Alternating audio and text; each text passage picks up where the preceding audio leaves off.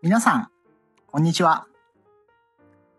反転授業や blended learning、differentiation や self-paced learning など、これらのキーワードを耳にすることが多くなったと思います。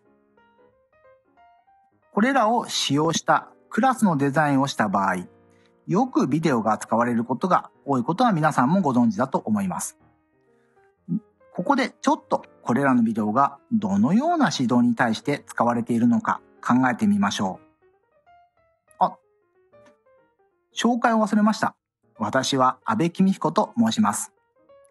台湾の中学高校で日本語と日本文化の授業を担当しています。教育用オンラインツール、エドパズルのシニアコーチとしても活動しています。どうぞよろしくお願いします。今回はまずビデオがどのような指導に対して使われているのかを整理し、次に今日ご紹介するエドパズルというツールを使えば、どのようにより効果的にビデオ教材を使うことができるのかということについて話します。最後に、エドパズルを使うことで授業のデザインにどんな変化をもたらすのかについてお話ししたいと思います。さて、ビデオ教材の授業での使いどころはいろいろあると思いますが、大きく分けて3つあると思います。まず1つ目はレクチャーの部分。知識を学習者に伝えたいときは、映像や音声を簡単に学習者に見せることができるビデオは非常に便利です。数学の公式やその理論、語学で言えば文法、社会や理科の授業でも知識をより楽しく、わかりやすく伝えたいと思うとき、ビデオを使う先生も多いのではないでしょうか。次にスキル。一番わかりやすい例で言えば、あ、飛行機のシートベルトの説明などは何かあった時にきちんと器具が使えるようになるためのビデオです。授業の中の例で言えば、コンピューターのソフトの操作方法、理科の器具の使い方、スポーツの練習の方法など、文字、映像、音声を同時に使うことができるビデオは、学習者のスキル習得の大きな助けになるでしょう。それ以外にも、例えば、授業の単元のトピックに対する興味を喚起する。またはビデオから問いを作るなどのような活動をする際、画像の中に多岐多彩の情報が詰め込まれているビデオは本当に役に立つと思います。きっと皆さんも DVD やパソコンの中のファイル、オンライン上のビデオを生徒や学習者の皆さんに見せているのだと思います。ここまでビデオ教材の使う場面を整理してきましたが、ちょっと皆さんに質問させてください。ビデオによる説明だったり、何かをどうやってするのか説明する際、ビデオはどうしても学習者たちを受け身にしてしまう側面があると思うんです。皆さんはこの点についてどんな工夫をしていますか？次に、ビデオは見ている人が理解していようが、理解していまいが、関係なく進んでいってしまいます。この点についてはどうですか？クラスに同じビデオを見せても、ある生徒には説明不足、ある生徒には説明が長すぎるために飽きてしまう。そう考えたことありませんか？これらのポイントは、ビデオ教材を使うことを躊躇させてしまうポイントでもあると思います。これらのことを解決することができるのが江戸パズルです。ここからは実際に江戸パズルの画面を見ながら紹介したいと思います。今回は私の担当している科目である日本語のビデオで紹介したいと思います。はい。これが学習者側から入った時の江戸パズルの画面です。ちょっと見てみましょう。あ、ビデオ自体は YouTube にあるものを使っています。え、多少钱です。じゃあ、聞いてください。1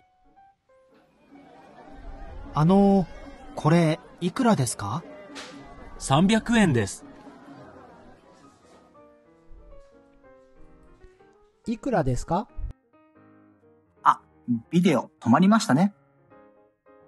教師が出した設問のところでビデオが止まり、質問が表示されています。このように質問を表示して生徒たちに答えてもらうと、生徒の頭の中は活性化します。ただ、ビデオを見ているだけだとどうしても受け身になりがちです。そこで何らかの形でアウトプットしてもらうことで活性化してもらいます。もちろん選択式でもいいです。または記述式、失礼しました。記述式でも構いません。その答えは答えがある質問でもいいですし、ない質問でも構わないと思います。はい、じゃあ続けて見ていきましょう。はい、そうです。300円です。大丈夫ですか？はい。じゃあ、これでここでも止まりました。してください。ここでは補足や参考文献、練習などのリンクが表示されています。学習者によって得意分野、得意分野は異なります。もっとリソースが必要な生徒にはちょうどいいタイミングで補足や参考資料を提示することができます。でも、もしそれが必要がない生徒だったら、そうです。これらにリンク、これらのリンクをチェックせず先に進むことができます。これは個別化の一つの手法ですよね。ビデオのちょうどいいタイミングにリンクが付けられるというのも江戸パズルの特徴の一つです。生徒たちがきちんと理解できているかどうかは説問によって私たちはある程度知ることができます。そんなにわからないのにどんどん進めてしまっている生徒がいたとしても、後で生徒の回答をチェックし、もしもうちょっと勉強した方がいいかなと思ったら、復習や確認を促すことができます。どうですか？これらは江戸パズルの機能のほんの一部です。ぜひこれらの練習のリンクを概要欄に貼っておきますから、もしよろしければお試しください。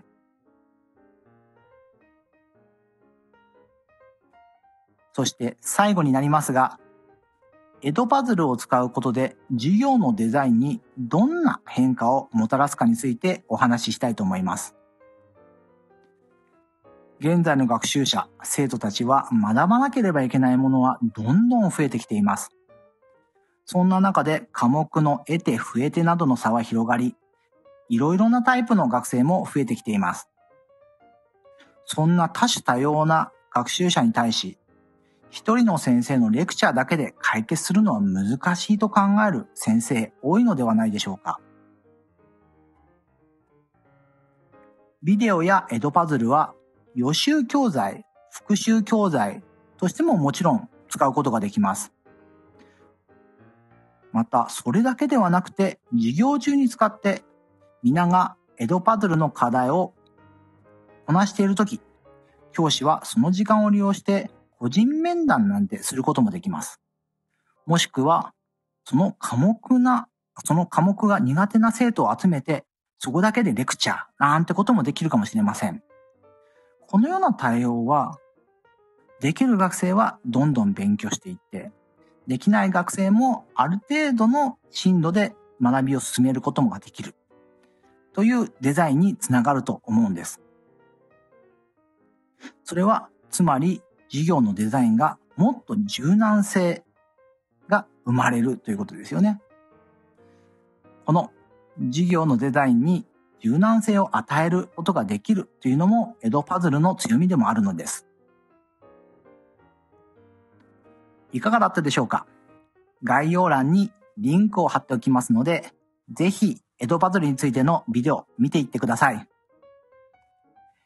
もちろん皆さんご自身で試すこともできます。課題の20個かな？20個までの課題は無料で作ることができます。学校内でたくさんの先生がもっとたくさん使いたいということになりましたら、作るプランをお勧めします。たくさんの先生が使い始めれば、お互いにどのようにビデオを授業に利用しているか知ることができます。また、違う科目の先生の教材を見ることで、科目の枠を超えたコラボなんてのも可能になると思います。ぜひ、検討してください。面白いですよ。今後は、エドパドルの使い方やその実践、いろいろな科目の先生がどのように使っているかなど、毎月皆さんとシェアしていきたいと思っています。それ以外の ICT の教育利用などについてもシェアしていきますので、ぜひこのチャンネル登録しておいてください。チャンネル登録しておけば次のビデオが公開された時に通知されます。ぜひこの機能ご利用ください。便利ですよ。もしご質問、ご意見がありましたら、下のコメント欄の方に書いていただければ嬉しいです。今回のビデオいかがでしたか？最後までご視聴くださりありがとうございます。また皆さんにお会えるの、お会いできるのを楽しみにしています。次回もまたお楽しみに。では皆さん、さようなら。